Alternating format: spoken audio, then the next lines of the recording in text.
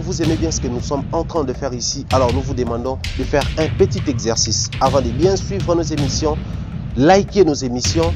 abonnez-vous massivement et surtout n'oubliez pas de partager aux autres. Sur Africa Mumba Télévision, vous aurez droit aux émissions à caractère sociétal. L'information politique au rendez-vous, politique nationale et internationale, actualité nationale et internationale. La culture et les arts, la culture d'ici et d'ailleurs, les arts d'ici et d'ailleurs, chez Africa Momba Télévision. Toutes les disciplines sportives, exclusivement chez nous et spécialement pour vous.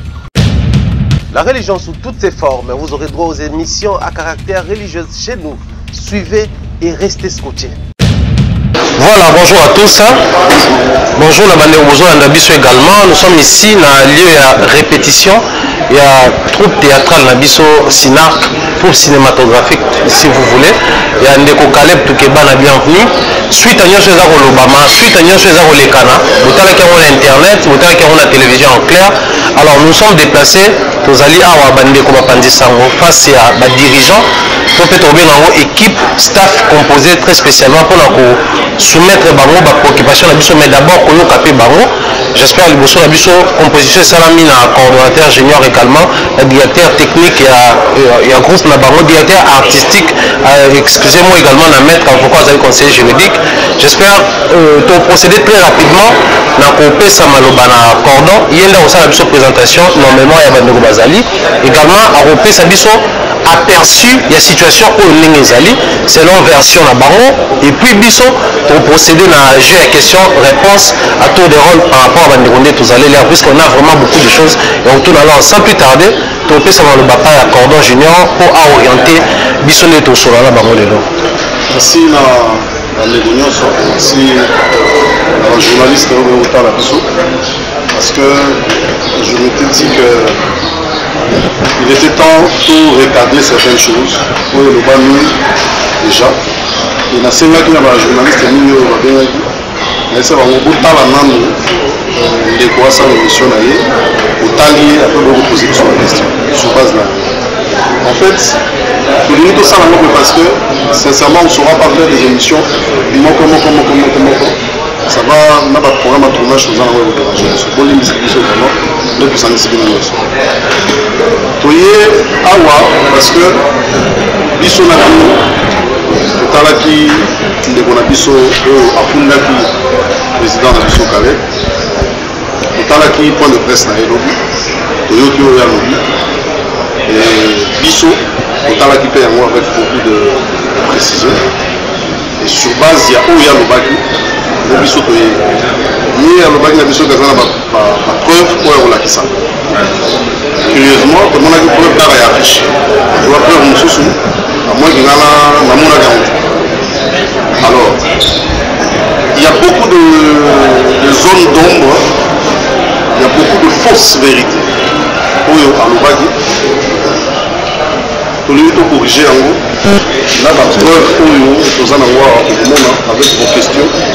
tokorépondre ya beaucoup de choses oyo alobi vraiment qui sont fausses vous permettre ce que vous supporter bandeko nyonso balingaka biso vous supporter que président kaleba aloba te ti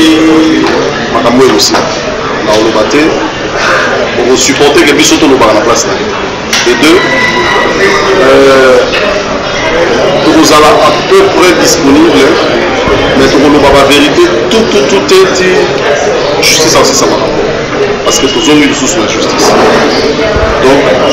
toye awa mpona komeka koreleve ba zone dom sur makambo nyonso elobani parce que il faut toyeba te bafano baotala biso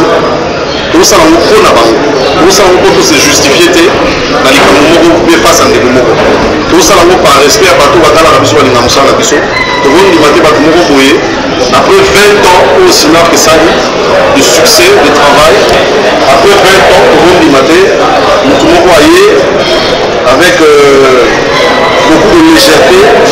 aya koluka kobakole mosala oyo tosali pendant des années. C'est vrai que bato baza ba émotif, bato baza bazalaka sensationnel, bazalaki emporte na makambo oyo alobaki, bakani comme étant une vérité. Tomoni ba commentaire ya bato, bato ebele bato bapesi raison, bapesi raison, baope apesi raison mpe apesi raison, mais biso tolingaki aloba nani, aloba nani, parce que omoni président Kale bazali un grand leader un grand leader il faut tous se les reconnaître ata tondimanaka te mais faut toreconnaitre que président kaleb aza grand leader abimisi baacteur ya minene ya danger toyebi e tokoki kobapue autorité na ye ndenge wana te parce que mécontentement moko ezali entre guillemets oyo ekoki kozala réglé à l'amiable donc on est là à la disposition ya bandeko mpona ko repondre na balimite ya Christian sinon na balaye en gros il s'agit du film La fille du serpent La fille du serpent est un film écrit par le président Kale na kati ya groupe sina ozali non seulement un groupe qui réunit des acteurs mais tozali mpe na chaîne de télévision oyo edupizaka bafilme oyo tosalaka notamment tozali na sinar btv youtube tozali na sinar btv oyo eza na tnt eza mpe na satellite sinar btv oyo eza na tnt na satellite ezali na kati ezali loge na kati ya télé distribution oyo tobengi star times ça veut dire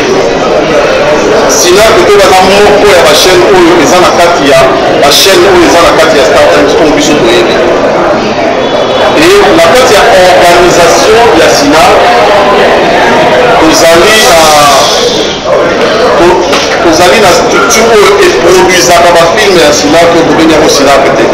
cetadi sinape tv ezali lokola maison de production ya sinape ayebi te soki osoki alors sinarke esalaka ereunisaka baacteur congolais mpo tosala kumbo tobengi banzonzi oyo biso nso toyebi totalaka depuis des années tozosangisa baacteur ebele ensemble pour que tosala filme tosepelisa bafani na biso filme tosali la fille du serpent ezali filme moko tosali comme bafilme nyonso tosalaka Particularité dans nos années. Particularité dans nos années. À chaque fois que maison de production nyonso ou bien groupe nyonso elingaka eproduire film lokola tozalaka na baproducteur te tolukaka bapartenaire basponsor oyo bayaka kosoutenir misala tosala depuis un moment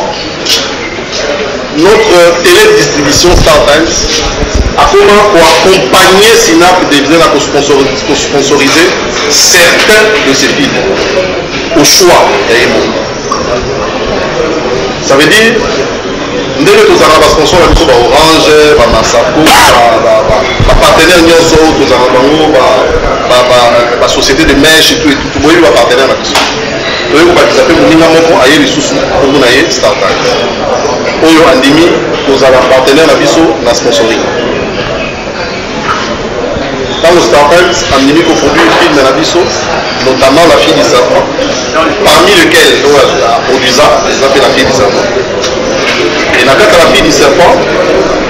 actrice principale ya filme wana ezalaki ndeko na biso oyo toza na ye na kosi Tango to tourner film wana ndeko wana asali rôle principal. Na banzozi tosalaka je me vais préciser bandeko que na banzozi tosalaka ba contrat tosalaka na bandeko nyonso na Congo mobimba ezalaka degré ya ezalaka ba contrat verbal. Ça veut dire, nabengi ndeko na ngai na robe, si mon cher, naza besoin participer na film, bafan na yo basengi participer na film. Voilà, biso mpona so participer na film na biso, mwa moke tolukelaka bato yango lokola mpenza biso ba production gar te, mwa moke tolukaka yango oyo soki oza d'accord oparticiper. Soki oza d'accord oparticiper, soki oza mpe d'accord te, otiki na yo. ndeko ya biso wana atournaka deja na biso ezali mbala ya liboso te atournela biso atournaka deja na biso oyo la fille de sepe ezali quatrième fille atournela sila toyokani ka nde toyokanaka cetadire eza eloko ya sika te tosololi na ye tosala la fille de sepe akosala role principal andimi tobandi filme tobandi ebandeli ntina suka filme wana otuna wana nyoka omona ke ngai nasimba nyoka wana moto abanga na nyoka seul moto abanda obanga nyoka makasi ye na président mais nyoka wana soki neti toyei tochange site ngai banda osimba epuis tobanda okange monoko na papier poto tosisi filme filme ebimi eleki na youtube eleki na chaîne na biso sinarpe tv tosala suka sede te voici Film nionso soki tosali yango ba ndeko nionso ba tournaka ba film ba acteurs nionso na bino ba journalistes je pense boyebi que soki mutu andimi ko participer na film film soki esili basalaka euh, promotion ya film promotion ya film ezalaka ba support support lokola euh, euh, teaser lokola flyers Lokola affiche, ça depend ya ba moyens boza nango ou ça depend ya ba partenaires oyo boza nango balingi ba accompagner bino na ba affiche wana. Ça veut dire lorsque nous on a un contrat avec un partenaire, ezali contrat ya maison. Maison sololi na acteur. Acteur soki andimi ko tourner, on lui doit ce que ce qu'elle a demandé, ce qu'il a demandé. a tourne na film oyo etikali apesi biso lokola droit d'image apesi biso personnage wana biso tokosala na film oyo olingi ça veut dire tokodivize yango parce que eloko akosala kaka kodivize mais pour que todivize yango mpo bato batala mpo bato batala efo tosala makelele et c'est ce qui a été fait tosali baaffiche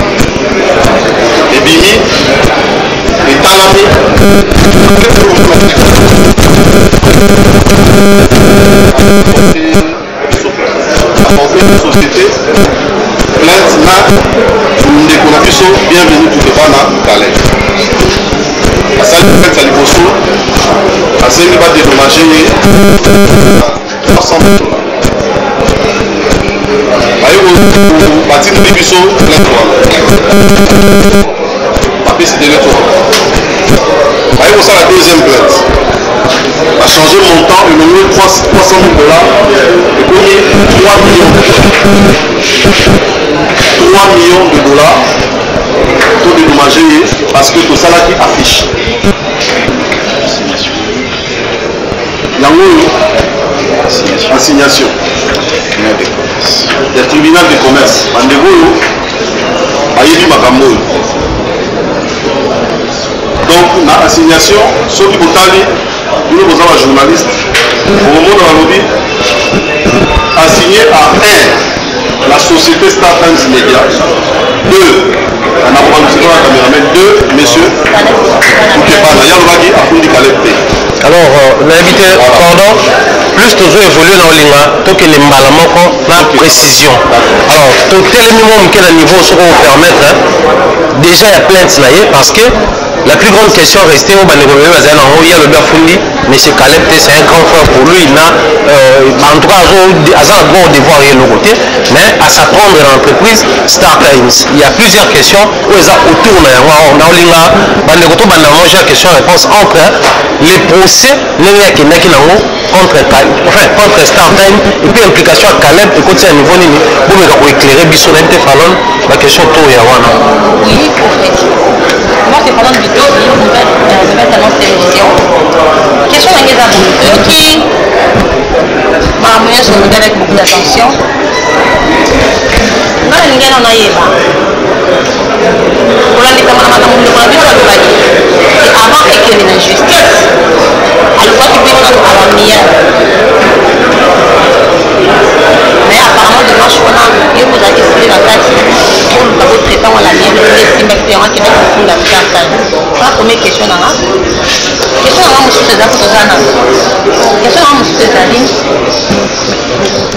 owuti koloba ke filme wana eza na partenaire la fille du serpent eya bandonzi nyonso nde babenga baninga te wana omoi eza parmi bafilme oyo sasa en étant compagnie eza na bouquer na sinar télévision mais batisi likolo yango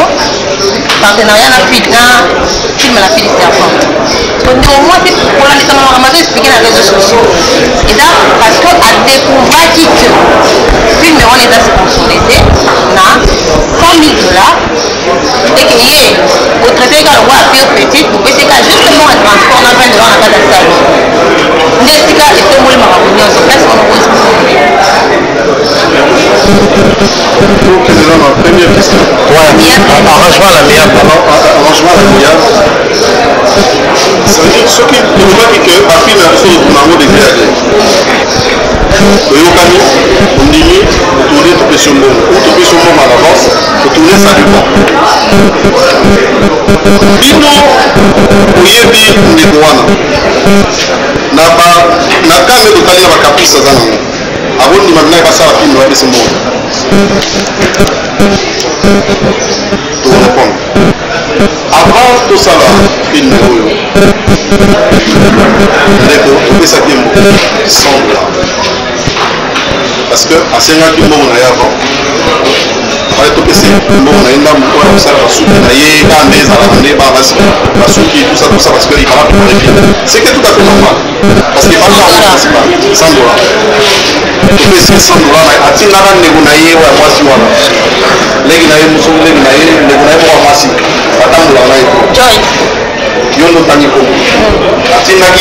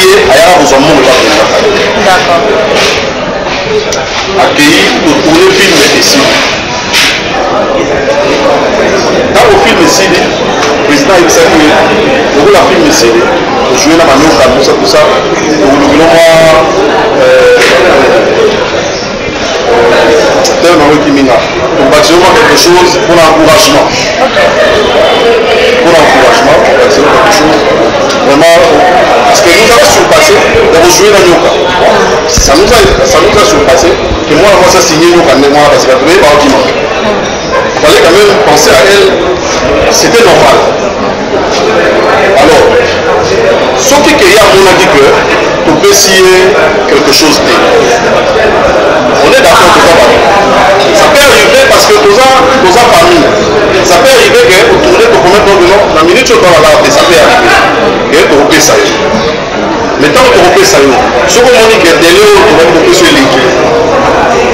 e ke olingi to totangola miyako tolandaki eloko moko alobi boye tozalaki na président jour wana ti na minuit tournage esili na minuit ange robert eki kotika ngai lobi nango na poko ntango nabengi ye mpo na contrat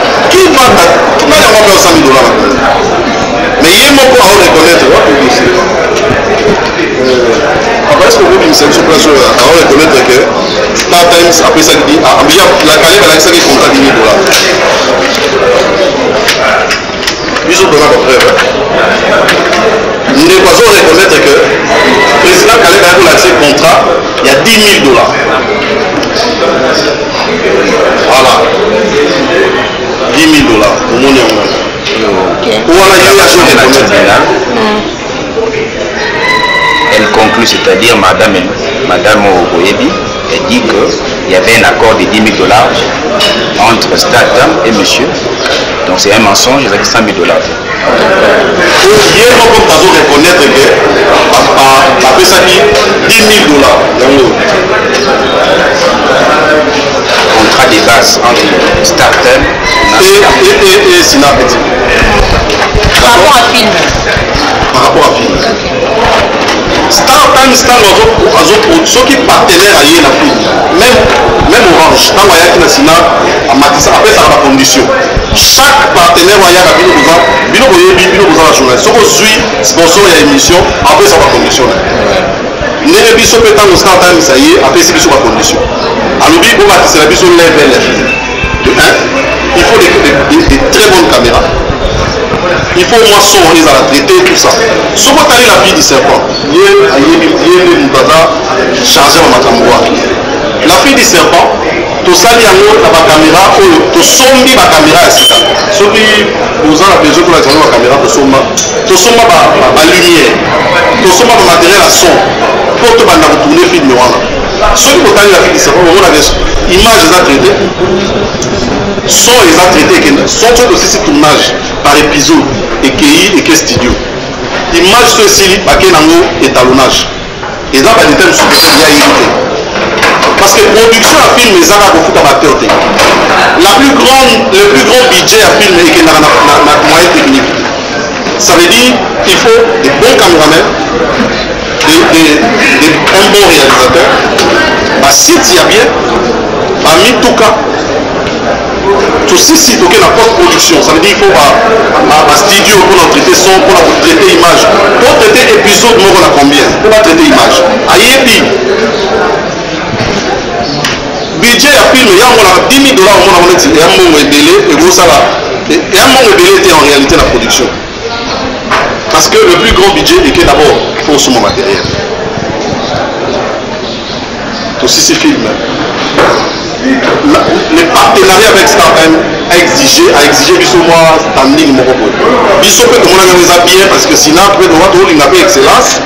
tomati mpe na standing wana ti okomonaka bafilme nyonso ye na nsima ya la fille du serpent etikalaka na level wana tozwa na biso option ke tokosalaka so film na se ya level wana te ezali ezali nous tous nous voulons l'excellence voilà donc soki partenaire aye eza mabe etali acteur te il faut tosalaka la part des choses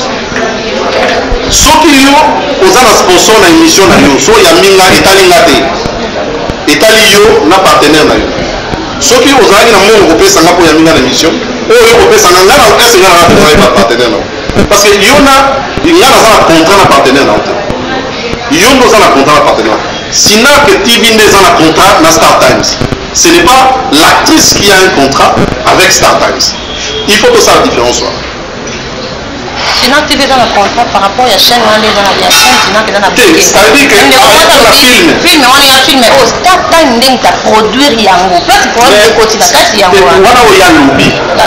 mais approuve yango na nini parce que biso nde bakolo bino ntango ye soki soki starfm va produire yango c'est à dire que c'est starfm qui devait faire un contrat avec elle n'est ce pas c'est ça la logique bon koyeba que elle n'est pas la seule à être tourner, à, à tourner ce film Ursule Pechanga que je salue asali trois rôles na film wana trois trois rôles tu peux faire le rôle principal mais eza ndeko mosusu asali second rôle actif lokola yipsi pecha donc bato wana nyonso baa na dor bakalunga bavie de loin bapakaloi bango tu baa na dor réclame te quand même eza droit na ya réclame mais réclame yango nini nini si ya un problème vienne voir Le sponsoring regarde la maison de production, ça ne regarde pas l'acteur. Ngai nasala nasala ba film toyaki mpe na mwa bino mosusu tolakisa ba précision nga nasala ba film film oyo nayebi te soki andeko boyebi yango kombo nango eza kuluma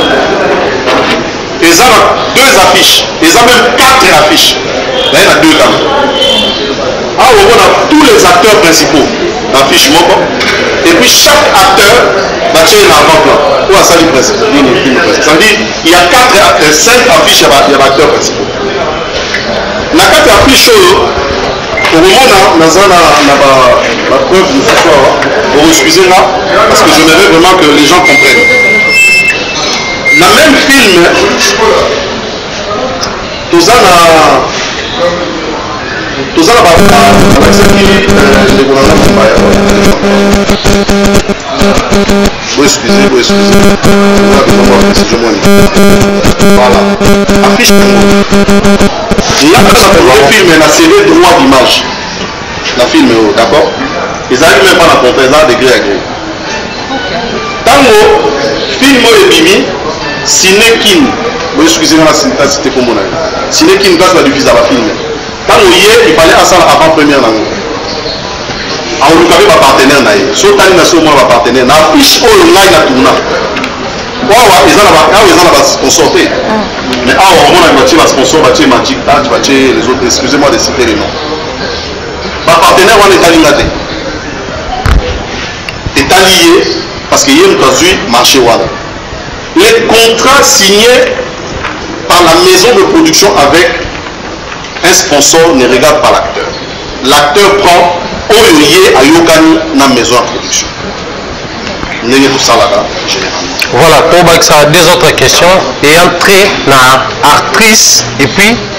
le groupe ou la terre euh, bienvenue tokebana parce que jusque là toza nao na niveau ya ndenge nini bakomi na justice babandaki na contrat gré à gré balekani na niveau ya koluka arrangement à l'amiable esimbi te bakomi na justice si ya une question mpo na éclaircissement au delà ya oyo déjà batuni tobakisi mpo to avancer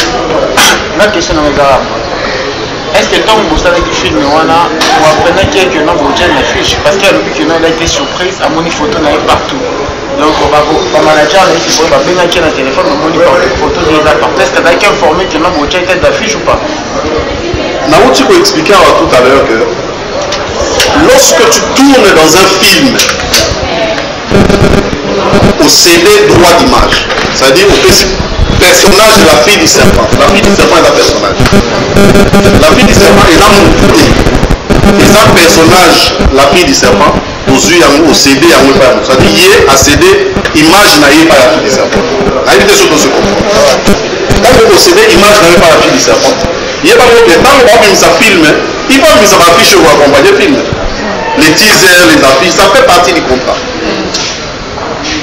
cestadire soki oza moto tuna bafilme asala filme moko euh, eh, filme moko asala ngam na hmm, c'est moi junior ngai na présenta filme wana na jour ya sorti officiel ya ofele naoloba ngo bien po lewis ndabengaka ngai nayo présente filme nasala ngo ya ofele na présenta filme na ye sere na biso wana na filme wana omonaka affiche c'est dit tout film doit être accompagné d'une affiche c'est comme ça c'est pas nous qui avons inventé là le peuple a cédé et puis okomona le moment venu ntango président kalebi mwa asala biso akobimisa bino j'ai quelques images ici oyo atindelaki nga oyo ye ser na biso atinda bafoto personnellement mpo batyango na affiche yango omona azali ba capture de compte foto oyo alobaki ke nazwi na facebook yango batindi na whatsapp yango oyo nayebi te boomona voilà le moment venu akolakisa yango yalobi kozwaki yango na facebook mais bazwaki na facebook te oyo natindaki esala telecharge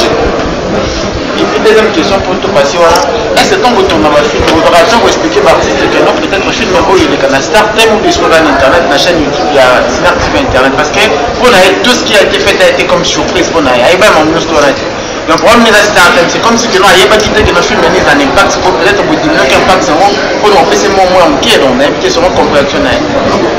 vous croyez que youtube aza na moins d'impact que télévision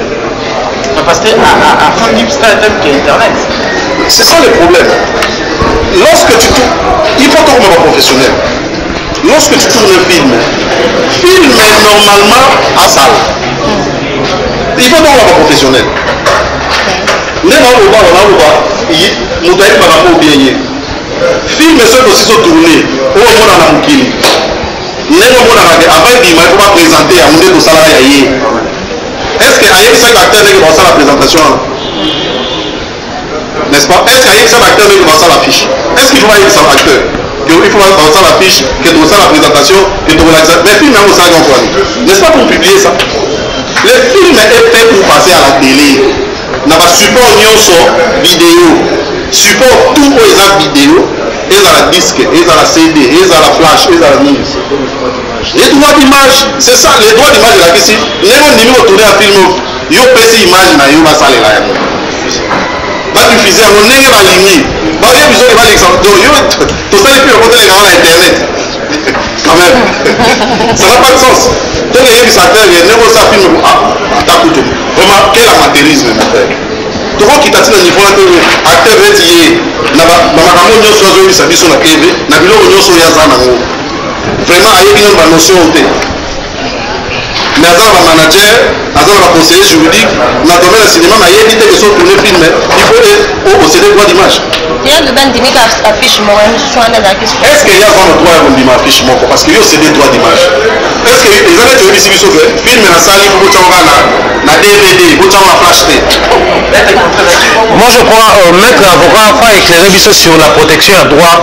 d'auteur droit image et autres parce que ça nous ramène euh, plusieurs années passées euh, tokonaîtra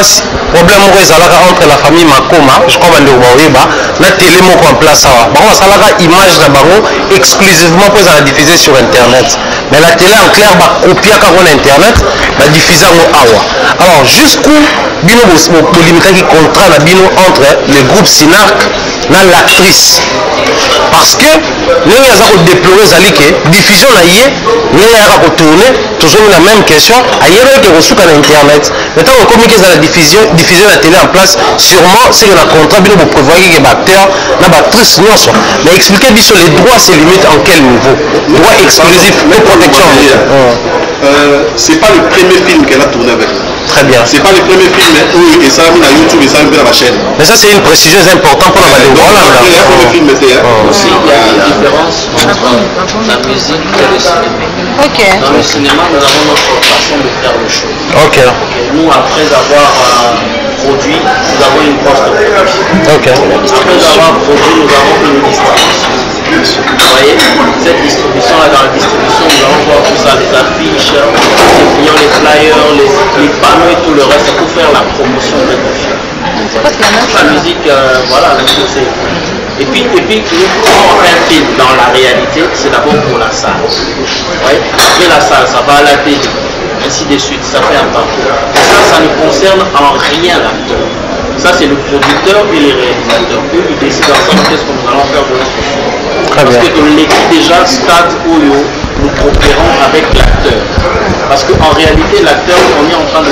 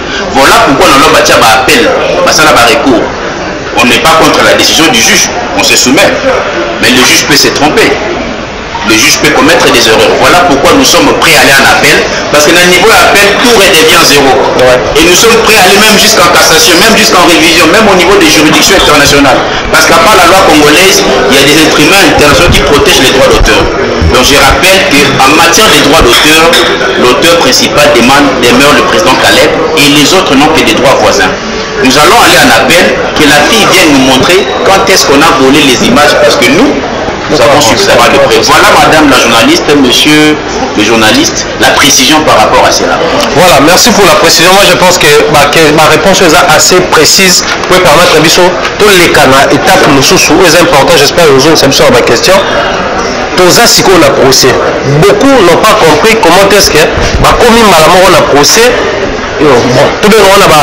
appellation na biso proche ya population et aboutir na quelque chose et puis bino bosali appel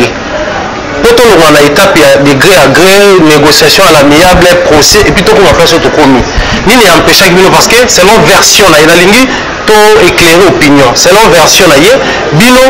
bo réussir nde kolekisa yango à l'amiable te ye alingaki ezala l'amiable bino bofundi ye na ntpc bino bino on a comme l'impression bino nde moto mobandi mabe pour que tokende alors tosukaki na niveau ya contrat tosukaki na makambo oyo tosukaki faire avancer biso mpo toyeba niveau nini tozali euh, par rapport ya le fait que alingaki ya l'amiable ah. ngai asilaki komona nga kombo na okenda kuna ayamba yo na biro na ye aserva yo bosolola ngai ntango tosisi filme wana uh-huh. quelques jours après président akendaki poto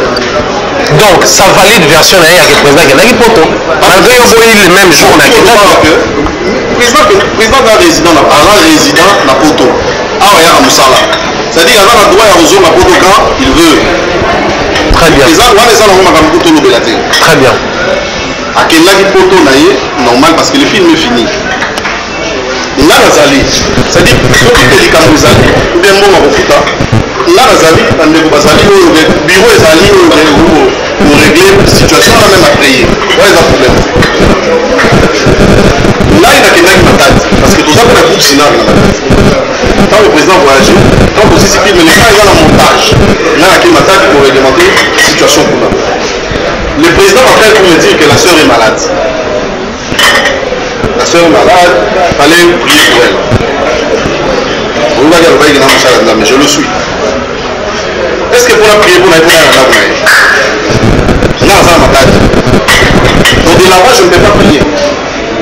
tu prie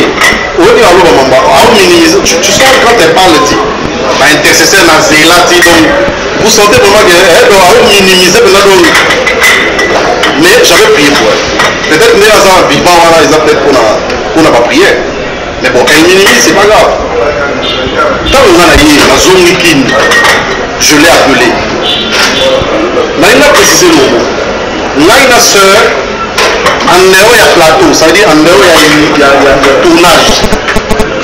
tokutana te na vie nga na ye toyebani na filme na plateau namona ye na tv ye mpe amona nga na tv mais kokutana ya nga na ye eza na tournage je précise je n'ai jamais vu elle m'a jamais vu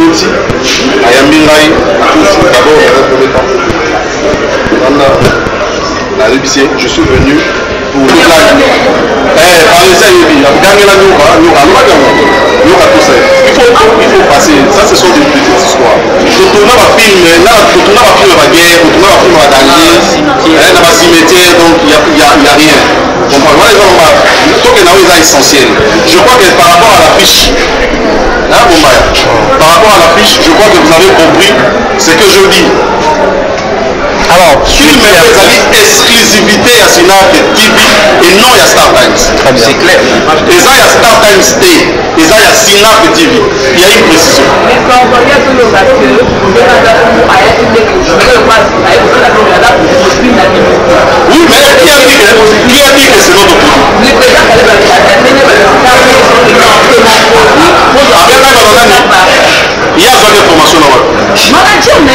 manager nga azwaki yango wapi ye alobi ke alobi ke alobi ke aza produit na biso nani yango ayebisi ye moto astar fm nini yango ayebisi ye ke biso ye alobaki yango s'il vous plaît on va on va pas s'amuser avec des gens ye alobi je viens avec des preuves c'est ce qu'il a dit non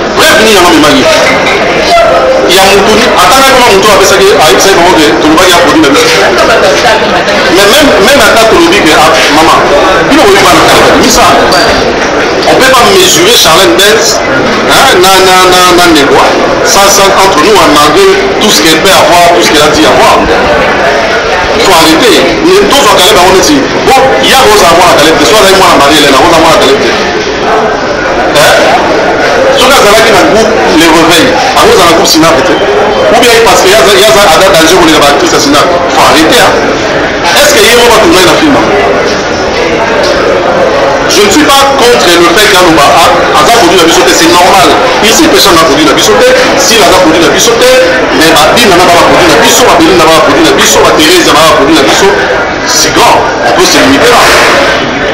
Donc ngai problème na ngai eza ba biloko ba pamba ça ce sont des fantaisies. Parlons ce qui est essentiel. Tozala mayele. Eloko nga na na na na bana ko ko regretter eza que on lui a pas posé des questions. Na point de presse wana. On lui a pas posé des questions intelligentes. Sincèrement, explique-moi que personnage na personne eza deux choses différentes na kati ya cinéma. Nga naza junior mais soki nake ko jouer role ya soldat est ce que c'est junior qui joue le role de soldat j'ai cédé mon image qu'est ce qu'il faut pas comprendre là dedans alors to avancer parce que nalingi lumière du jour avait sila bandeko batuna baquestion to chute tokomi na étape ya appel fo esalama na procès vous avez en tout cas très clairement expliqué mais qu'est ce qui n'a pas marché pour que On a comme l'impression jusque là soki bato basali appel c'est que camp moko moto egagne bino. Nini nde esali que bo réussir avec toutes ces preuves te ko brandir yango na justice ye a gagne bino bino bozonga na appel. Nalingi nde bo éclairer biso mpo bandeko batuka ba question. En fait toza état de droit état structuré ouais. euh, soki basala appel na vie to ba voie de recours C'est parce que comme on dit à latin, errare humanum est. Un homme peut se tromper. Ouais. Il y a même un livre que je viens de lire il y a deux jours, Les erreurs judiciaires, j'en ai 400 pages.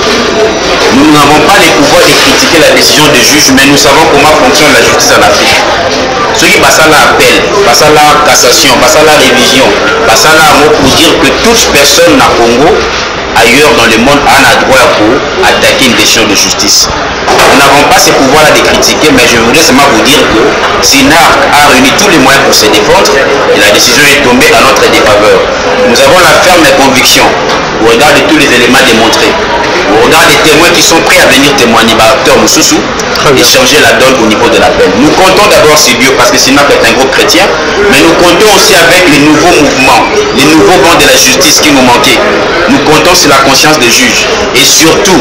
nous comptons sur tous les éléments que nous avons. Et nous avons l'assurance a niveau de la peine de Rosimba, même jusqu'en cassation, même jusqu'en révision.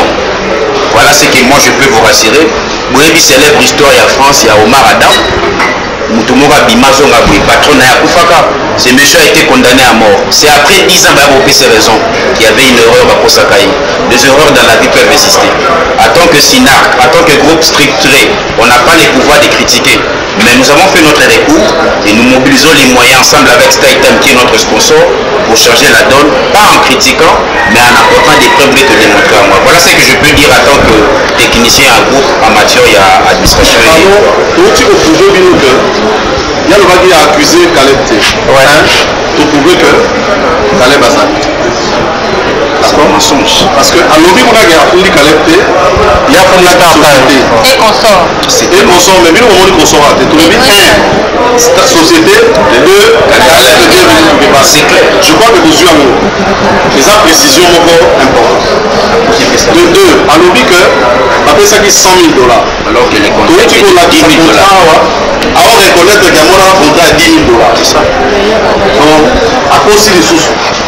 d'accord alobi azwaka un franc te ajura mais awa maître ozotanga biso abi awa reconnaître que ajua ajua pe mbongo azwa pe mbongo te ba utiliser mabe ba utiliser mabe asimi awa sala sinya yango d'accord ajuraki na komba bana na ye de trois alobi que euh, nga nakendaki komona ye ça j'ai expliqué ça ce sont des fantaisies inutiles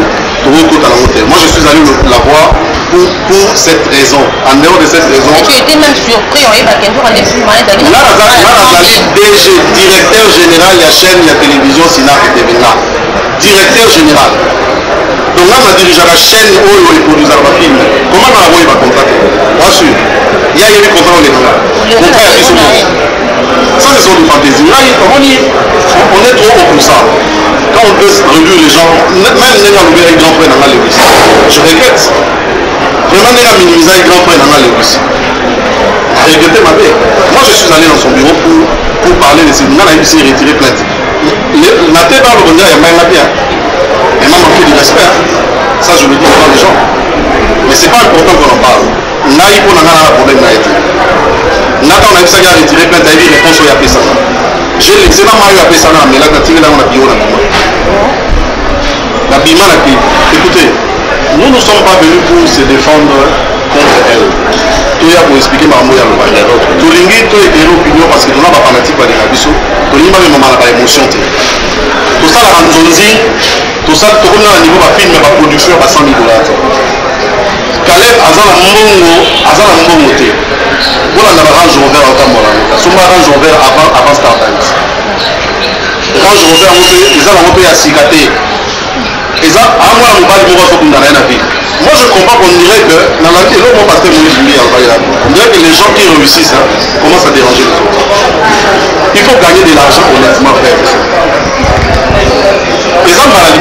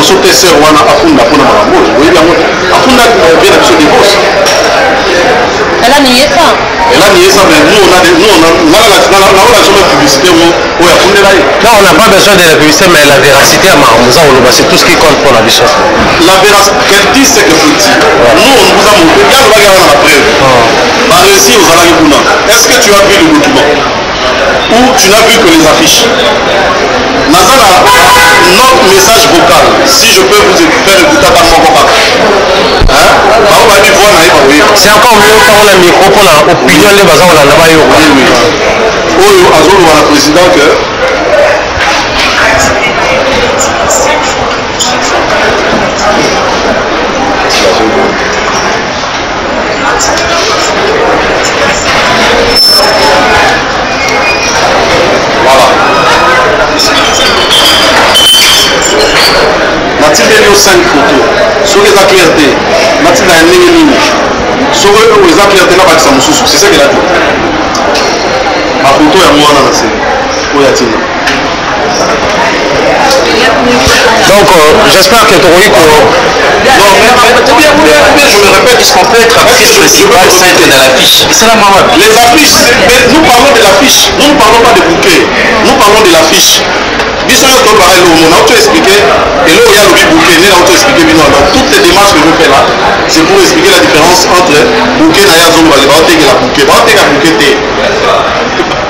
bazo presente film oyo ekotalamaka kati ya star times na kati ya chaîne oyo eza na kati ya star times donc ce sont des précisions important est ce que yo okozala na sponsor na émission na yo mais otie logo na ye te oinvite mombaya obie barinzi obibo tosali affiche moko nazoyamba barinzi émission présentée par stel sponsor alotie logo te otie komona ete quand même Mais elle a envoyé les images pourquoi Sinon aza actrice principale, ba batya ngo na mutu ya. Alors pona to to chuter na biso to gagner temps puisque la lumière du jour eza okende. Tozwi version claire ya groupe Sinac. tozalaki na version déjà ya ndeko na biso ya mwasi alors na minute okomi opposition ya parole na bango contre ya ye te na biso tozalaki na besoin ya précision bandeko to baza na question eya très na version oyo tozwi contrairement na oyo ye apesaki biso tokoki kosala ja question réponse moko moko par personne mpo to avance na biso très rapidement ok merci je suis adas na chaîne ya peka news euh, télévision question na ngai eza boye na première d'étudiant botombaki nde makambo nyonso eleki na bobiki bozozela appel oyo oh, deja date deja epesami ebelema nini oyo acase nini boke bokobakisa puke tout oyo décision ezala faveur na bino Bon, c'est une euh, démarche judiciaire, c'est une bataille judiciaire, ce sont des stratégies qu'on ne peut pas dire ici, mais ce sont des moyens qui existent, les images qu'elle a envoyées. Là, c'est une stratégie interne, nous sommes prêts à aller en appel, et là, on avait les mains suffisantes.